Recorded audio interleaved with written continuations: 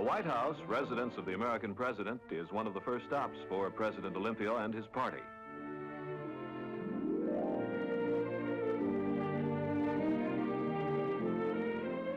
They confer with President Kennedy, Acting Secretary of State George W. Ball, and G. Mennen Williams, Assistant Secretary of State for African Affairs.